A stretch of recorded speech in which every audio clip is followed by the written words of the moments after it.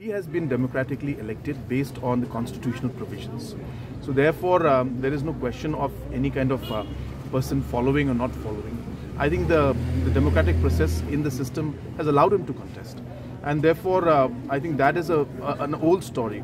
Um, you know, this uh, when most of the NGOs now have realized that the government um, in the district council just recently they cleared four months, five months salary just last week itself. I think today they've completed the process.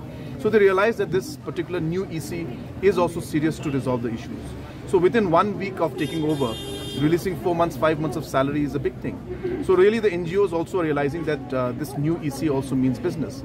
Uh, it looks like the other NGOs who are there, uh, you know, are uh, politically motivated and uh, they are trying to move things in a political manner. This is what it looks like to me.